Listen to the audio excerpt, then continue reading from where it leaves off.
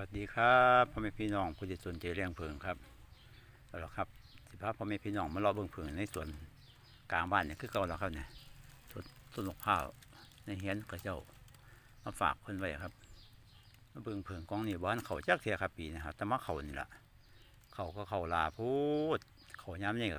เก็บพุ่นแล้วครับใกล้ๆพฤษภาพุ่นแหละเมษาที่เบิดที่เดือนกลัวจังเขาจะเก็บครับ น้ำลายบ่หน่อยก็ต้องเก็บครับฮอดใกล้ๆพฤษภาครับคันท่าบ่เก็บต่อต่อไปมันก็สิบ่มีน้ำเพื่อก่อนครับ มันสิมีน้ำอยู่ช่วง เมษาไปหาพฤษภาเนี่ยครับสำหรับผึ่งครับเขาซ่าก็เจ็บเขาเร็วก็เจ็บนะครับเนาะสำหรับผึ่งเขาเอิ้นว่าผึ่งเดือนห้าครับน้ำผึ่งเดือนห้าครับ สวัสดีครับ